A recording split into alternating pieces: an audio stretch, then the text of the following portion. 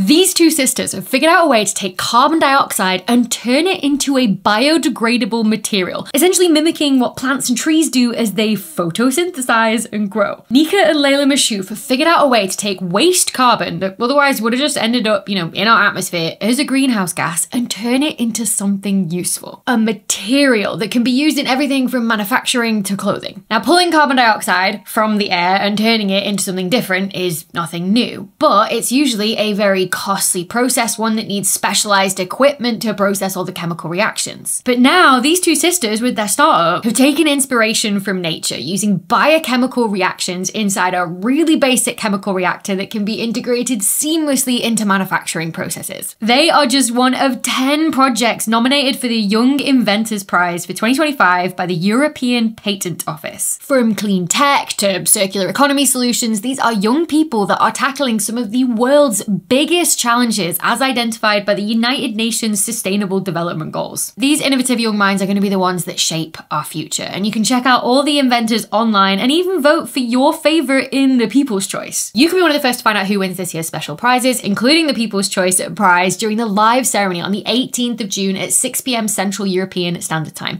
So make sure you tune in right here on my YouTube channel.